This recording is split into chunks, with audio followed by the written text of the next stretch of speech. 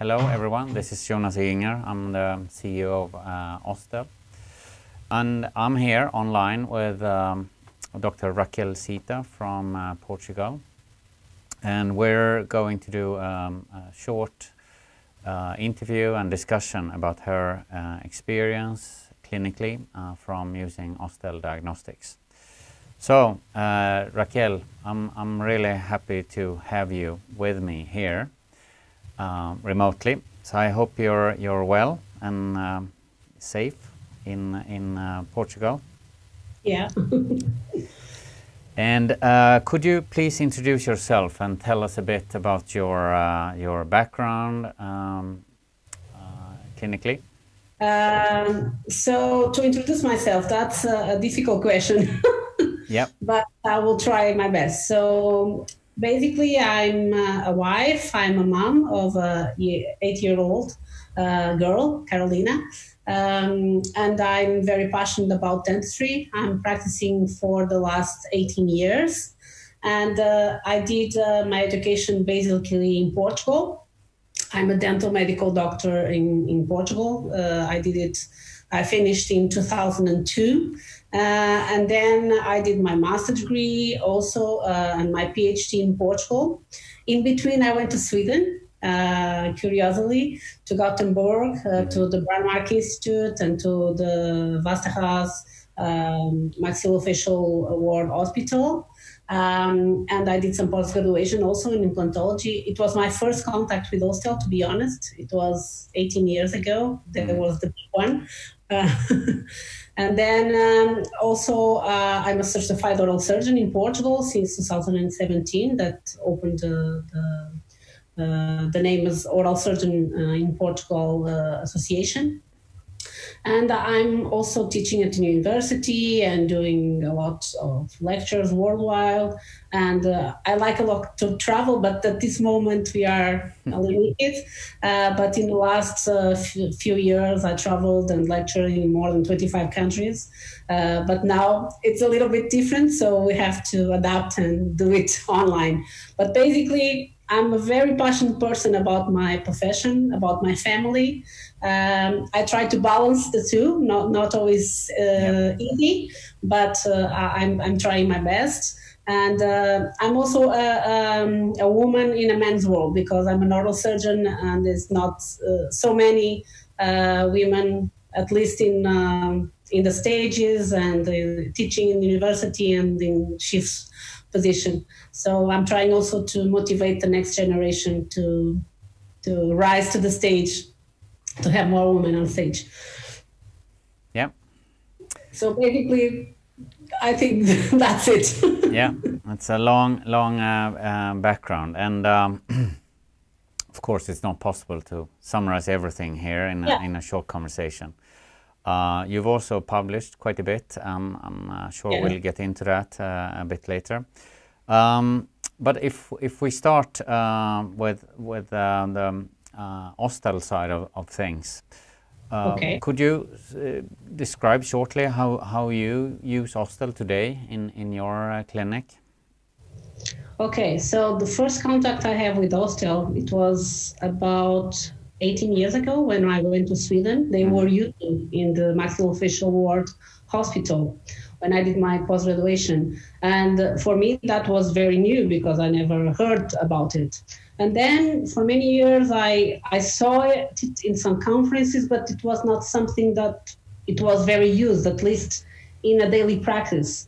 But then uh, when I started my PhD, uh, I had an idea of doing a study that uh, used the ISQ to do the follow-up of the of the cases to do to measure the, the primary stability and the evolution till secondary stability in three different groups of bone regeneration in the posterior maxilla. And then I started using as a research tool, and then I realized that really it was something that I should use every day in my clinic.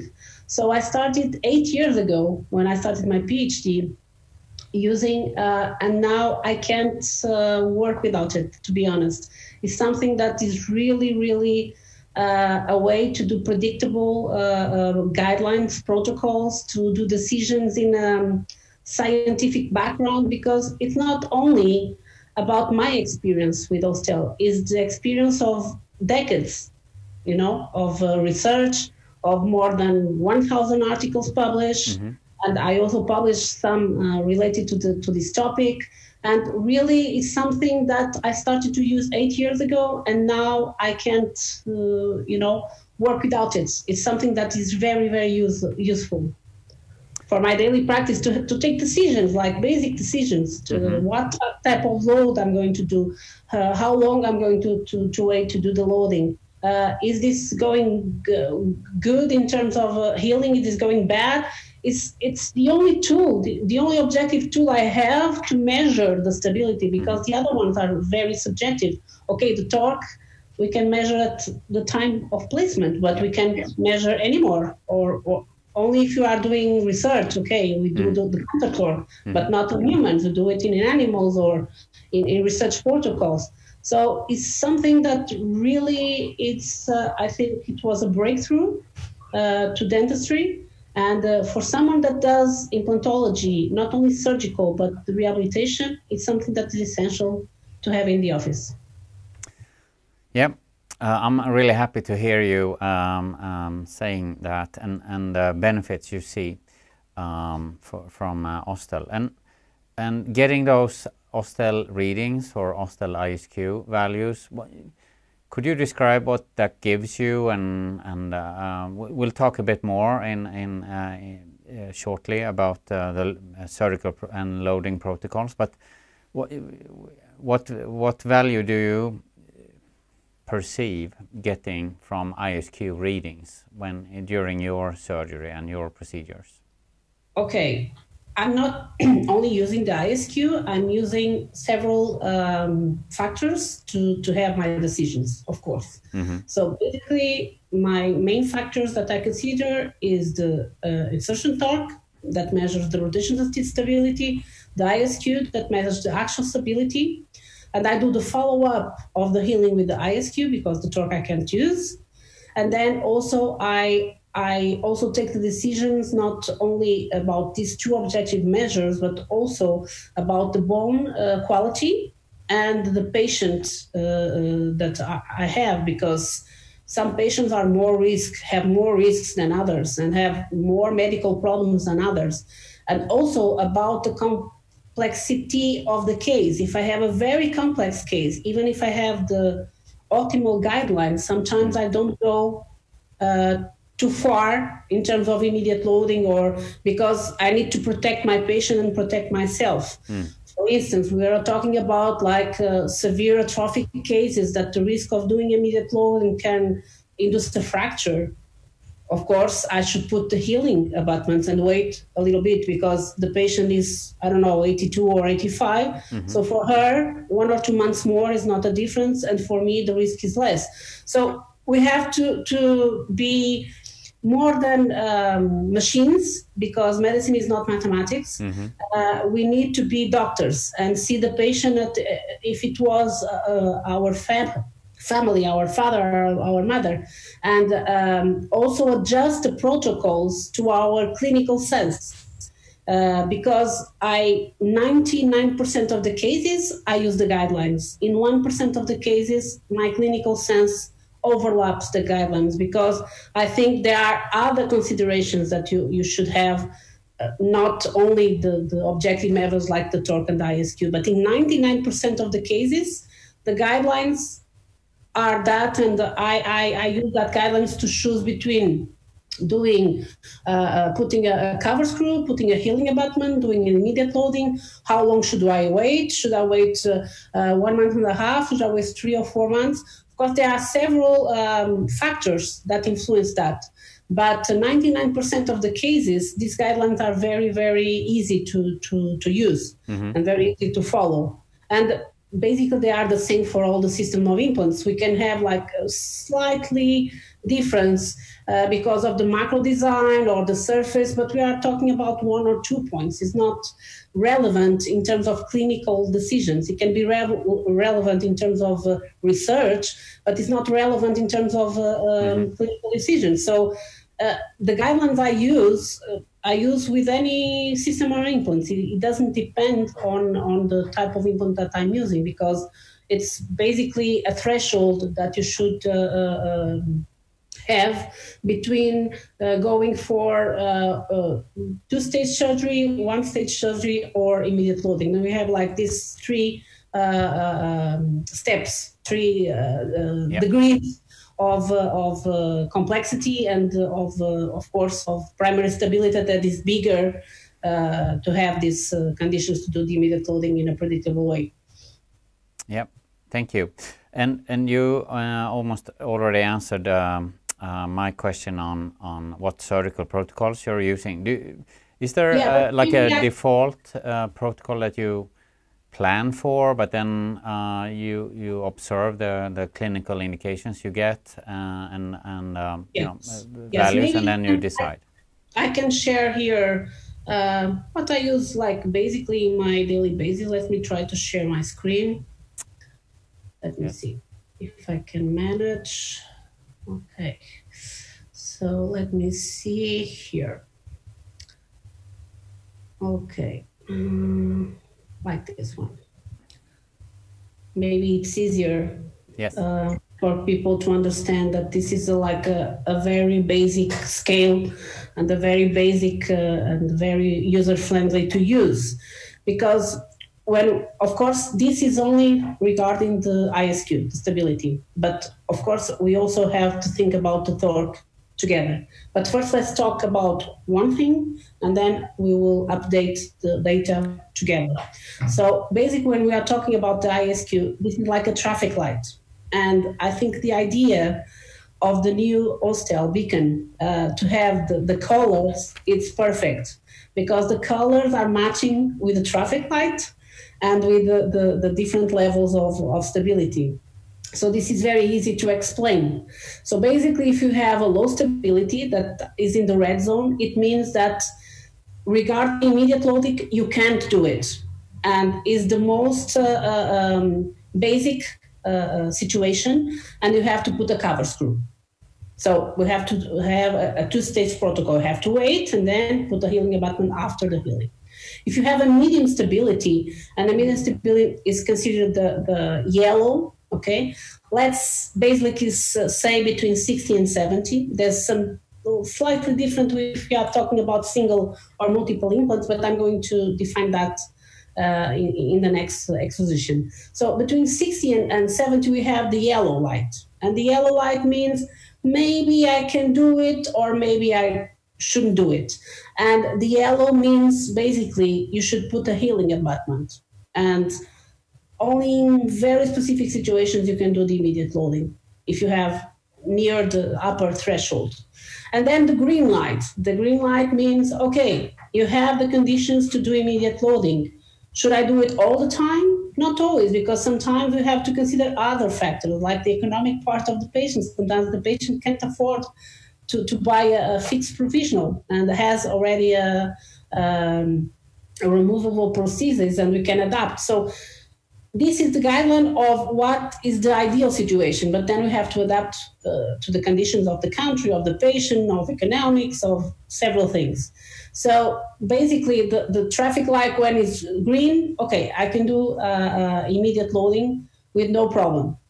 Okay, this is basically uh, uh, in, in general terms. Of course, uh, it's different when you consider uh, single implants or multiple implants because in single uh, you have the, the value has to be higher because you have more forces uh, different forces uh, uh, outside the center of the implant that are working. And when the, they are splinted together they, they have the force together so they can be a little bit the, the values can be slightly lower as you can see here, like this is my general protocols for almost every situation, independently of the brand of implants that we are using. This to be completely safe. If you ask me, uh, sometimes I risk a little, yes, but I, I have 18 years of experience. For someone that is starting, they should follow the guidelines strictly uh, to have good results and predictable results. So for single, ideally, if you have torque lower than 30 and ISQ lower than 60, the two together, we are considering the two values together, or one of uh, the values is lower than this, ideally, you should put a cover screw. So we do two surgical stage procedure. If you have torque more than uh, 30 and less than 45, and the ISQ between 60 and 70, we are in the maybe zone, the yellow zone. So one surgical stage for sure. In very specific situations, if you are experienced, you can go for immediate, but if you have the thresholds on the upper level. Uh, and the case that we have torque more than 45 and ISQ more than 72, this in single uh, rehabilitation, we can perform immediate loading with absolutely no problem. If it will fail, it's not because of this, it's because of other things. Mm-hmm. Because this is more than proved to be like this. Of course, if we go to multiple, because we are uh, um, splinting, we are working together, the forces are being shared, uh, like we, we see in the ballerinas, uh, the thresholds go a little bit down. So between, uh, instead of 30, we can consider the, the, the, the limit, the inferior limit threshold 25, and uh, then the, the superior limit 40 instead of 45. So 25 instead of 30 and 40 instead of 45. And the only difference regarding the ISQ is uh, instead of 72, we can go downgrade a little bit to 70 because what we are talking. Mm-hmm. So basically, this is like very, very easy to use. If you have this guideline, it's only to have, you can put it on uh, your office, you know, a table with these numbers. And yes.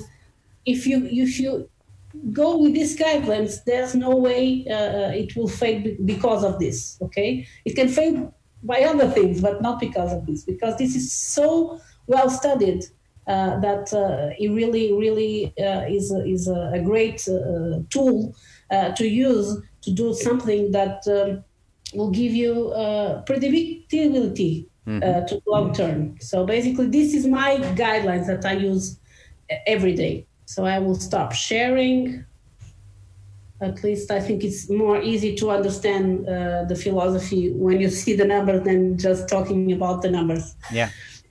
Yeah, Thank- but my goals, if you ask me what would be my ideally goal uh, in terms of uh, stability, it depends on the case, okay? Because many times I have referee cases that are like very, very difficult and very, very in the limit. And maybe if I have a 65 after healing, I'll be happy and uh, even a, 55 uh, in the implant placement, I'll be happy. But if I have a good uh, quality and quantity of bone, uh, ideally, I, I, I, search for values that give me more credit. And uh, normally, I search ideally for a medium between 70 and 72, uh, not only in the implant placement, but also when I, I start the rehabilitation part, because I'm an oral surgeon, but I also do my rehabilitation. So I'm not deciding only the protocol, the surgical protocols, but also the prosthetic protocols uh, with these guidelines. Because when I go for second stage surgery or, or when I wait at least one, one month and a half, two months to do uh, uh, the measure of the ISQ after healing, or three or four if it's a big regeneration, uh, that value will give me the guidelines if I should go for the rehabilitation or not? Or should I wait? Or should I downgrade from healing to cover screw? Because this is not only a tool for follow up, it's a tool that can warn you. If you have a very high ISQ when you do the implant placement, and then you measure after, after one month and a half, and the value was initially 80, and then we have 60, something is not okay. Mm-hmm. So we have something objective to show us that probably there is a problem there. And then we have to think what could be the problem. And sometimes I go a little bit back. So if I have a healing abutment, sometimes I put a cover screw, I close, and I wait.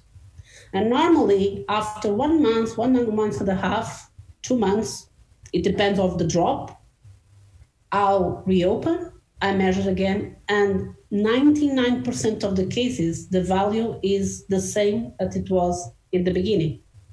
So probably that implant was in overload, even with the healing, mm-hmm.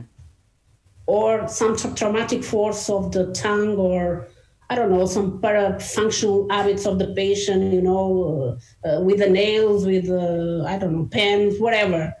So sometimes there's uh, um, a way of us to predict that something is not uh, uh, okay, and we can adapt our protocol because we have to be smart to adapt to the guidelines that because imagine if I don't have the ISQ, the implant is integrated, 60, okay the implant is not moving. I can do impressions, whatever. But probably if I do impressions and I put uh, in one week the crown on top, uh, probably in a, a, few weeks or some months, I will have a, a, big problem to solve. And maybe I have to remove the implant. Or I can do the other way around. I can measure, I can be um, aware that something is not good, I can prepare myself, I can go a little bit back wait, and then re-enter again. And 99% of the, the situations, I solve the problem like this, just waiting. Because it's the only number that we can have after we have healing. Yep. Even in some cases that I have for, I, am putting implant for 18 years because I started in the, in the year I graduated. Um, I have cases that sometimes come uh, with some mucositis or periimplantitis. Mm-hmm. Also, the ISQ is a way for me to understand what is the status of that implant. Mm-hmm. And then if I do some procedure of regeneration, of decontamination with laser, whatever procedure, if the implant is going in a good uh, way or in a bad way. Mm-hmm. Even uh, many times I use the ISQ together with other components, of course, uh, as a decision if I'll do explantation or if I try regeneration.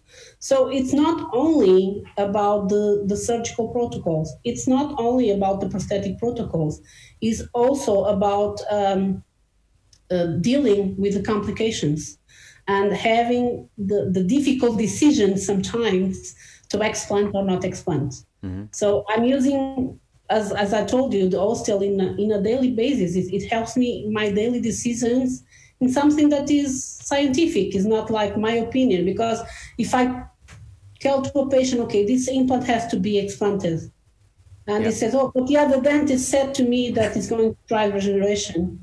And I can say, okay, but did the other dentist measure the ISQ and the stability? And I explain the patient about the actual stability and if the action stability will be less than 50, the prognostic of that implant is very low. Mm-hmm. And the patient normally says, no, the, the, the, the other doctor didn't say nothing. So why are you telling me this? And say, because scientifically, there's a background uh, that says that if you have a very low ISQ and the ISQ is going down, even down that value, something is not. So why should I uh, waste time and money try to save this implant if then you will lose the implant anyway. Not now but in a few months. So this is also a way to communicate with the patient not only between colleagues. That is also a very good way of mm-hmm. communication mm-hmm. because i have a team i don't work alone. And uh, in some cases i do the rehabilitation but in some clinics that i work i do only the surgery. And then the other colleagues that are specialists in, in rehabilitation uh, or even in oral surgery, but I do like the, the most uh, demanding cases, and then they, they do the rehabilitation mm-hmm. and they do the, the easy cases. Mm-hmm. It's a very good tool for us to communicate because they ring me and say, Raquel, uh, I have ISQ this number, and at the beginning it was that number. Do you think it's the ideal time for me to advance with the rehabilitation? If we don't have this value, it's something looking at the x ray. The x ray looks sometimes the same or even uh, uh, uh, better when you place the implant than after. It's it's sometimes it's almost impossible to see if the implant is integrated or not. Of course, if you have like a very um, inflammatory disease that will uh, uh, uh, destroy all the bone, of course, you will see it in the X-ray. But that case is you don't need to see the X-ray because the implant is moving. Yeah. You go with the finger and then you remove the implant in that case is that uh, you can see like a beautiful x-ray perfect X-ray. Oh, it looks like the book X-ray, and then the implant is not stable and comes when you're trying to to remove the cover screw. Yeah. This is an example. That's why we have subjective ways of seeing the stability and objective ways. Mm-hmm. X-ray is still a subjective way. Sometimes it can be objective when it's the worst case scenario, but that we don't need the X-ray for. We have the clinical assessment. Um, in the cases that uh, uh, we need to, to see if the implant is good or not, if we should explant or regenerate, if it's the, the adequate time to do the, the, the rehabilitation, the ISQ is the only way to, to do it, you know, in an objective and uh, a predictable way. Yeah. Thank you. Uh, all these insights and your experience, that's really valuable um, to, to hear you explain. And uh, I'm happy to hear that the color coding uh, of the new Osstell Yeah, instrument. I call it the traffic light. The I think traffic it's light. so easy. yeah, it's it's something Even that to my, my students, it's very easy to explain. You are explaining to students that never did implants, don't know what it is ISQ. They have an apparatus that have the, the colors of the traffic lights. yep, it's So they know red, I shouldn't do nothing. Yellow, maybe I can do immediate. Green, I can do immediate loading. This is so easy to pass this message because they associate the color as uh, an action. So it's it's really I think it was a, a brilliant idea. Uh, Thank you, and, and that's actually something that generates uh, a lot of comments and positive feedback. Um, I'm I'm uh, intrigued to hear that you're uh, you seem to be communicating around uh, the Osstell instrument and the the ISQ values with the patients. Do you explain Yeah. also to the patients what it means and already when you place the implants or even before? Um. Before the procedure, uh, that you do you use this and you will assess their implants with with uh, Osstell. Yes, I do because um, I think many um, colleagues guarantee to the patient something that sometimes they, they can't do it or they can't fulfill. Because many uh, uh, uh, colleagues are saying to the patients in um, before that they are going to do immediate loading. I never said that to a patient. I always say, I will try, mm-hmm. probably 90% of the situation I will have the conditions, but only intraoperatory I'm going to make the decision. And what is the, the, the things that are going to give me the decision? The session torque and ISQ value.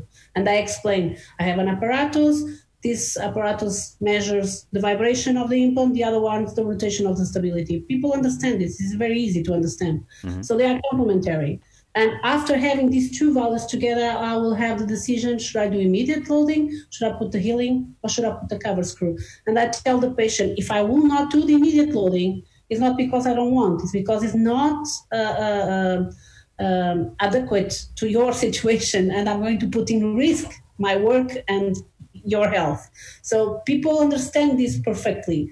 So I always explain. I do when I do my um, provision of uh, uh, um, how uh, how much it will cost. I, I do the provision of all the situations always.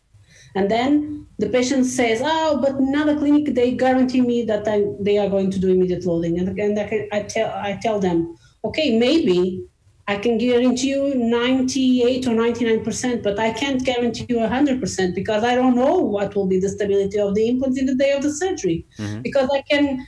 I can study everything. I can have all the CBCTs, all the the the, the um, programs that measure the, the, the bone density before I go to surgery. I can study all the protocols. I can do all the preparation. I can do all the technical things. And at the end, I don't have the right conditions to do immediate loading.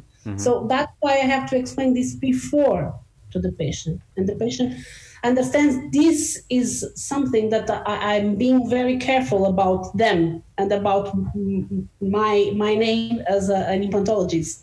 Uh, because if I say I will do it for sure, and at that time I don't have the conditions, uh, they say probably she's not very good because she didn't anticipate that probably something could go wrong.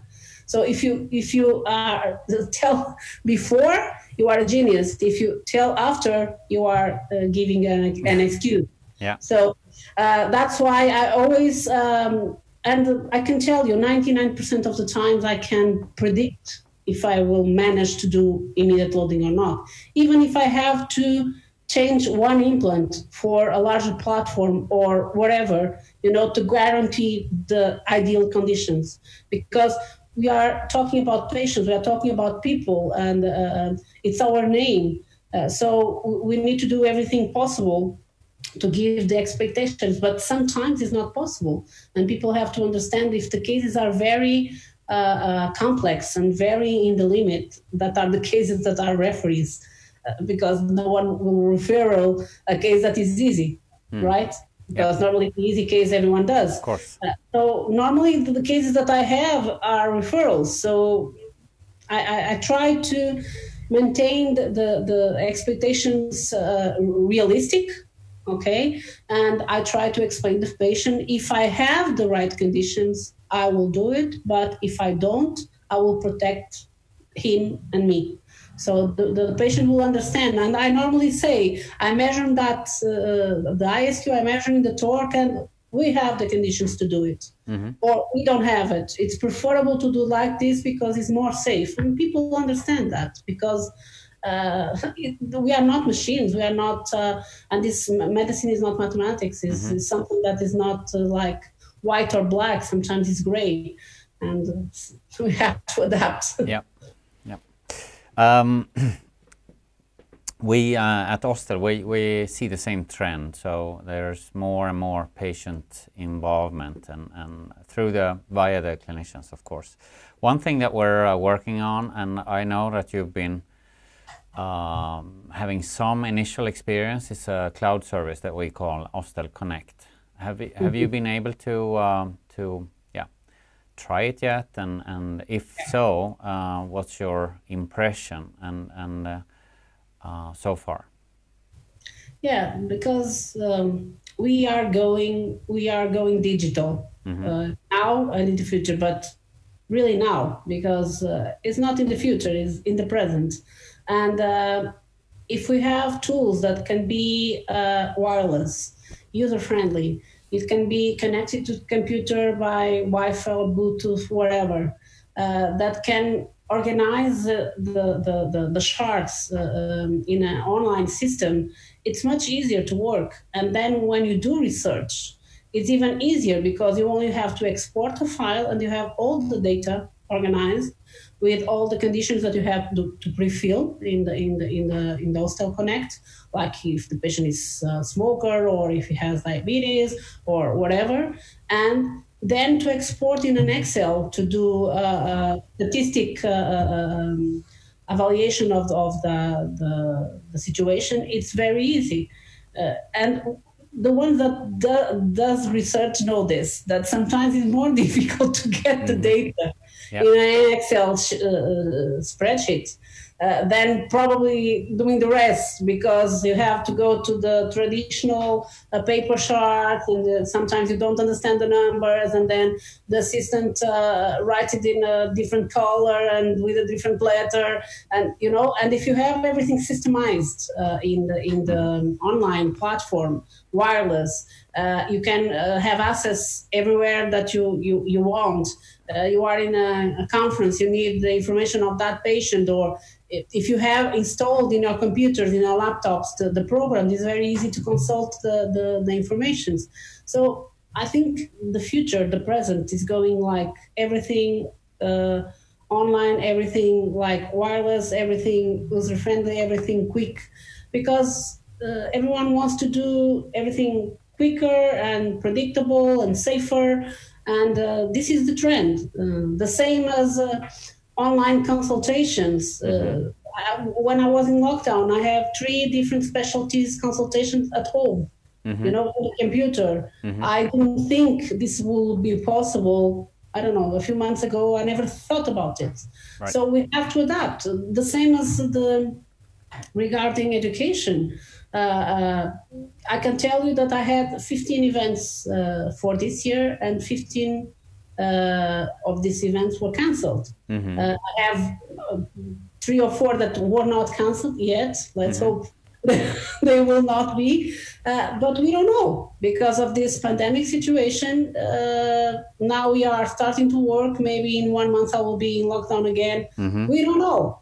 So we have to adapt. And I think uh, uh, uh programs and connections and platforms that can link people online. you are in Sweden. I'm in Portugal. We are talking.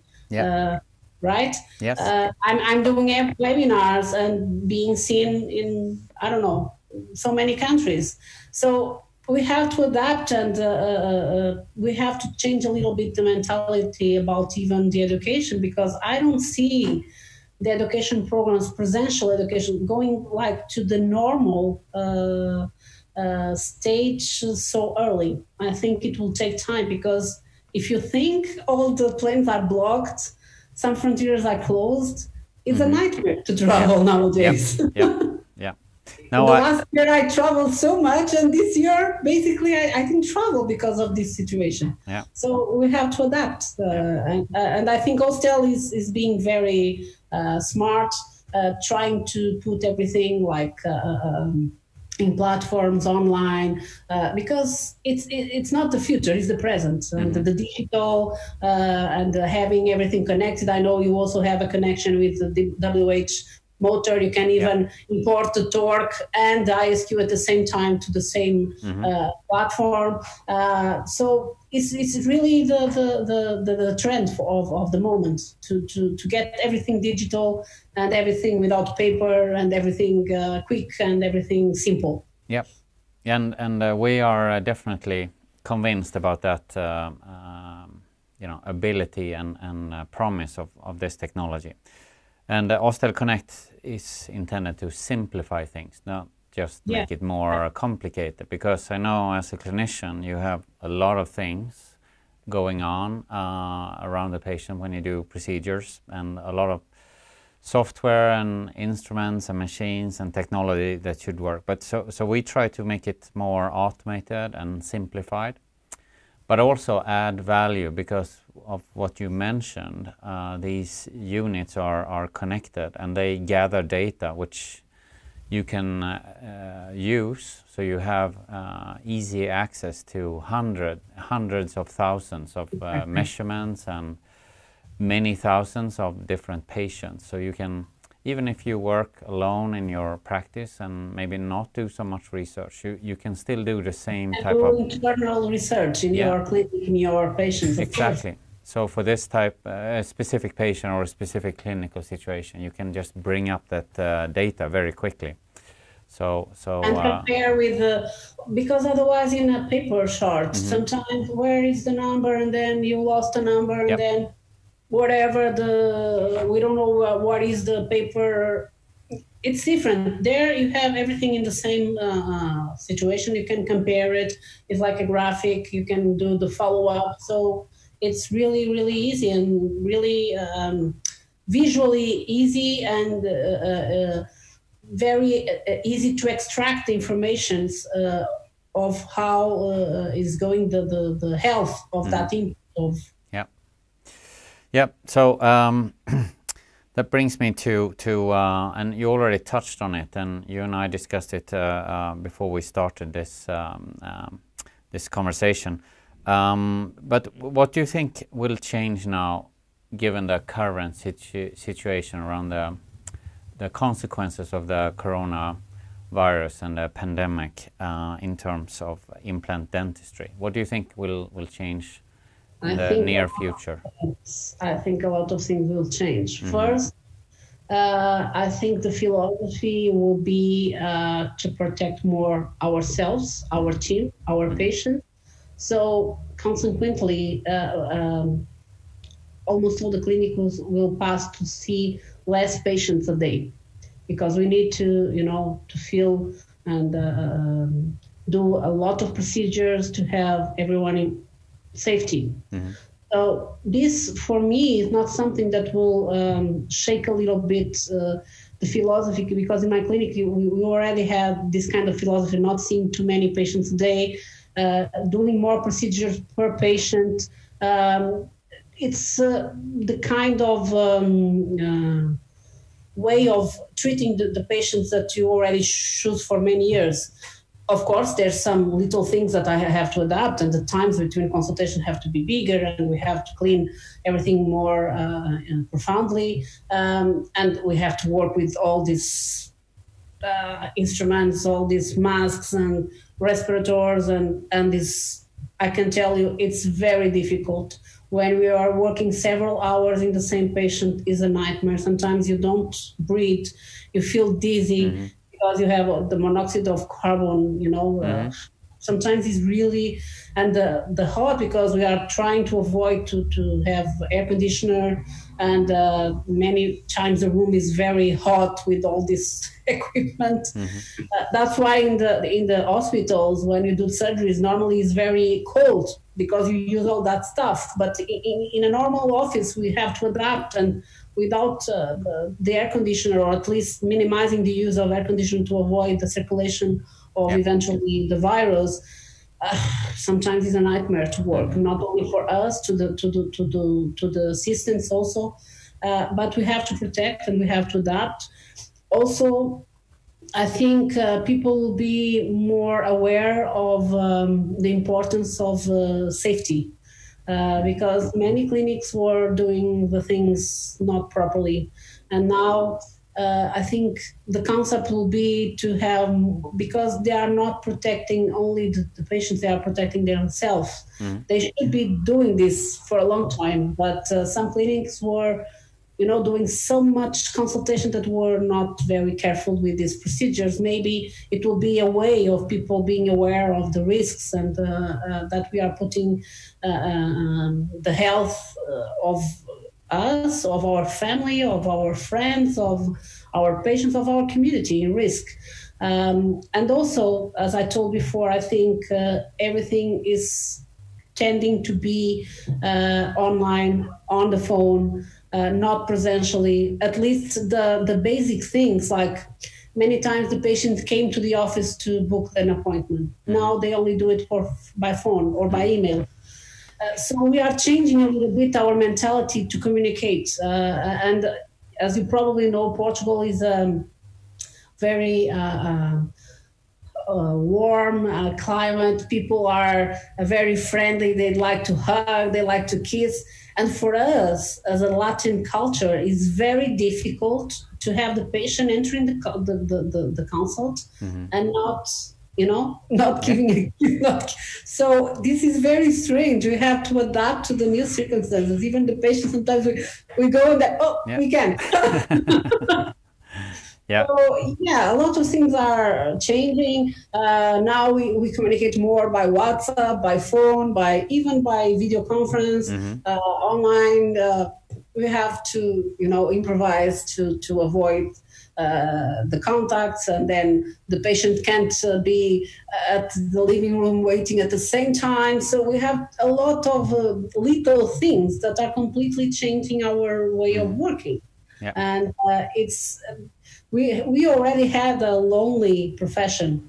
Now we are feeling more that because uh, that interaction that we had with the patient, with the with the team, uh, everyone is feeling a little bit, you know, restrained because of all this situation. But uh, I think, of course, things will, will get back to normal uh, but it will not be like uh, in one or two months. It will take some time for people and till we have a vaccine or a treatment, I don't think it will be completely normal, to be honest. Uh, because people are afraid, even to come, even to you know, uh, to touching things. You see that people are afraid, and we are trying to minimize that, mm-hmm. uh, helping people by phone, by email, by video conference, um, helping colleagues also in education by webinars, by education platforms, because at this moment, uh, someone asked me, Can I go to your clinic to see you work? No, because I, I don't even let the, the patient bring someone with him. Mm-hmm. What is the logic of putting one more member, you know, assisting to the surgeries? So at this moment, it's very difficult to do presential education clinical residencies or even conferences. We have thousands of people together, yeah. doctors. If we have one or two that have the disease, probably they will contaminate i don't know Yeah. mm, dozens.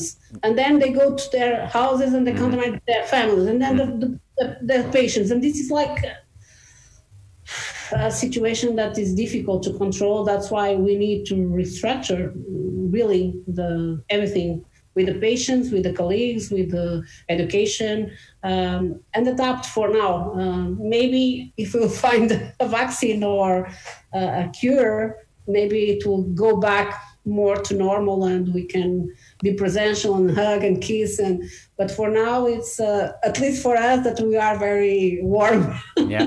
Yeah. uh, people uh, it's it's difficult i know in sweden the, the mentality is a little bit different uh, in the nordic countries normally people are more like uh, they, they, they are nice but they are more distant in terms of physical contact Yeah. but uh, portugal spain uh, brazil you know people like to touch Yeah. and to, to kiss and to hug so it's even more difficult to, to do it for me in two, two months at home it was really uh, uh, something Tough. that I Mhm. wouldn't expect in a million years. You Yeah. know, uh, I'm not used to be at home, uh, so but it was also good because you you you learn how to uh, give value to other things that probably you were not so aware. Yeah. Uh, like the family, like uh, uh, helping with school with your kids, and because now they have homeschool, so Mm. you need to be there like from nine to, to five. It's a new job. You're now a teacher. Yeah. Uh, so uh, some things were good. Of course, other things were less good because we are isolated. We can't uh, be with our friends, at least presentially. But we are redefining uh, the parties with uh, video Yeah. conferences and um, my, my I can tell you that my my daughter and me uh, had birthday during lockdown. So we had a Zoom meeting with all the, the friends and we did the, the happy birthday all together by video conference. Mhm. Uh, we have to adapt. yeah, you have to uh, become uh, creative. So uh, you know, it's. But I think you're you're right. In uh, in you know that dentistry can be a rather lonely uh, profession sometimes. Yeah. So and Yeah. that's that's also why we're uh, at Osstell trying to you know create content and stay in touch with you know our uh, clinicians and our partners like yourself and, and also share as much information and, and uh, knowledge as, as we can. So, uh, and that's why we do these small little interviews sometimes in, in, in the form of articles. This time we do uh, uh, like a video recording that we can share with your colleagues around the world. So, one question that we uh, always ask and that we're also quite interested in is inspiration. What's, what has inspired you in your career so far and, and you know, looking forward? Okay, I'm going to start. I have to give the credit to my mom and dad 1st uh, because they uh, taught me that uh, even being a woman, I can be successful in my career. And uh, they, they at, at my home, uh, the, the roles are a little bit inverted. My mom was uh, a nurse. Uh, she had a, a career. She was more outside home. And my dad had a good job, but had like more uh, traditional job from nine to five. So he was more at home cooking and uh, uh, giving me uh, support and uh, taking me to activities. So for me, it was not uh, something um, extraordinary, you know, to, to, to try to fight for a, a career um, because we are still thinking that is equal, but is still not the, the, the same opportunities, unfortunately. It's changing, uh, at least it's changing. But uh, I hope in my daughter generation it will be equal, but it's still not equal. So my mom and dad are like my big supporters. And then, of course, I have a lot of um, uh, I call it friends because they are my friends too, and professionals that I admire, and uh, I, they inspire me every day because they motivate me, they they incentivize me to be better, to to go forward, and I can tell you some names like Delia Total or Snjezana Pohl or Marvarit Keshvari that are ladies, also very strong ladies, and that they they support me a lot in, in starting my international career as a, as a speaker and as a teacher. Uh, also, I have role models here in Portugal, like Miguel Stanley or Dr. João Pimenta, that is from an older generation that were one of the first people that noticed me and uh, saw that I had potential and wanted to invest me uh, to give education. And some brands didn't see it at that time because I was very young. I was finishing my master degree. I was like 26 or 27, and I look even younger. So, you know, this kind of uh, um, kind of um, uh, sexism, uh, I have mm-hmm. to say uh, at the beginning was a little bit difficult. Now I don't feel that anymore because I, I think I already made uh, the steps to, to get there and fight it a lot to get where I am to, today. But it took time, and uh, uh the opportunities are not so easy to catch. And uh, but uh, yeah, if you, if you work hard, you will manage, but you have to work probably two or three times harder than uh, mailing your CV. That I can I can guarantee yeah. you. And then uh, I can show you. Can I show you a, here a slide because I sometimes put this in my presentation. So in 2001, I was a student and uh, I, I saw the Team Atlanta mm-hmm. with Dr. Garber uh, uh, lecturing in Portugal. And I was so mesmerized with that. I was so, you know, I was a terrific presentation. And I, I, I made a wish that someday I will be on a, on a stage with that uh, role models to me. And that happened like um, 16 years after uh, in New York uh, University. Uh, so Dr. Salama uh, invited me to be a keynote speaker at mm-hmm. Dental XP Implant Summit uh, in, in New York University. That is the university, you know, like UPenn is the university. And uh, I was the only speaker, uh, woman, the only woman speaker. We were like, I think, 14. Uh, you can see there's Snjezana, but she was there assisting. She also is a speaker at Dental XP, but not this one. And uh, Tony Salama, that is the next generation of the Salama, that is a girl. So uh, this is really uh, something that uh, inspired me, and um, um it was, I don't know, something like uh, a fool. I don't know how to to to tell you uh, but uh, at that time, um, it was something different. You know, I saw mm-hmm. something there that I aimed to go. You know, of course, at that time I was a student. I was, I don't know, 23 or 24. Um, for me, that was unreachable, you know, but something inside me told me, okay, I liked it so much. I want to be you know, a teacher. I want to go on stage and one day I will manage to be on stage with these guys. And mm-hmm. uh, and uh, yeah, it it it it uh, it uh, went through uh, many years after after yeah. a lot of study, a lot of uh, effort. Um, and I can tell you also one curious thing. In 2002, when I graduated, I wanted to go to the United States to do my post graduation and I wanted to go or to New York University or to UPenn because it was the most high, you know, uh, stand, status mm-hmm. in the dentistry and implantology field and restorative field. And uh, then uh, when I saw the prices, it was completely not possible for me. Uh, in Portugal, the salaries are not like the United States. Mm-hmm. Uh, so I couldn't afford it, not me, not my parents, uh, of course and um, that's why I decided to go to Sweden because it was near and the prices was uh, much uh, less. and what is funny is uh, 15 years after I was invited to be a lecturer at New York University, and 17 years after I was invited to be lecturer at UPenn. Yeah. So I didn't manage to go as a student because I couldn't afford even to apply. But then I, I managed to go as a lecturer uh, by by the big door, I can Yeah. say. So it was really uh, for me like the best moments of my career.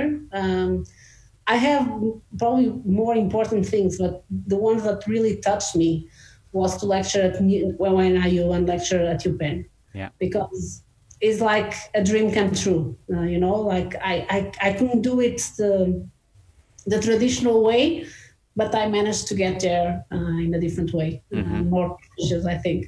So uh, it was really. Um, and and what is funny is uh, Dr. Salama invited me to, to go to New York University as a speaker, and uh, he graduated from UPenn, is his alma mater, UPenn, Yeah. and who invited me to to go to UPenn is from restorative, not even from surgery. It's Dr. Mark Blatz that I I really appreciate his work. He's a fantastic, uh, not only professional but hum- human being, um, and uh, for me it was two of my highlights in my in my career, uh, and um, I think it was a prize of the big effort that I made.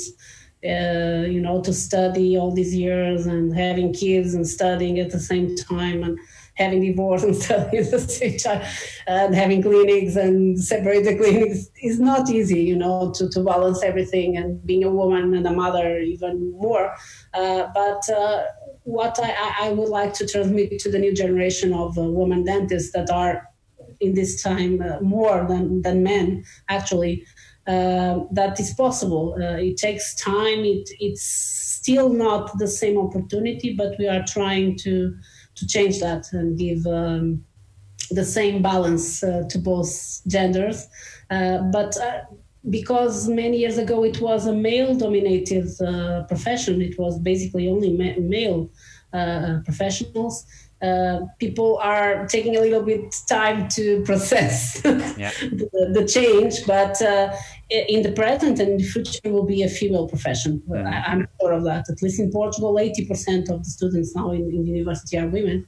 So we need to change the paradigm and give more opportunities to women because otherwise, in 10 years, we'll not have any educator. no, no, that's that's true. It's it's uh, changing. We see that in, in many markets. Uh, so um, Probably in Sweden the same, and Yeah. at least in Europe is a big tendency mm-hmm. yeah, penetration of women in the in the profession. yeah.